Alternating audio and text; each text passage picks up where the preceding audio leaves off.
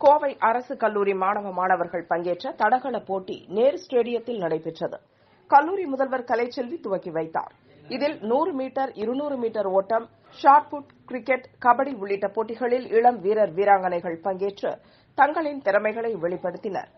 பேராசிரியர்களுக்கான chess carrom உள்ளிட்ட போட்டிகள் வரும் பன்னிரண்டாம் தேதி நடக்கிறது. ஏற்பாடுகளை உடற்கல்வித்துறை இயக்குநர் விஜயகுமார் செய்திருந்தாா்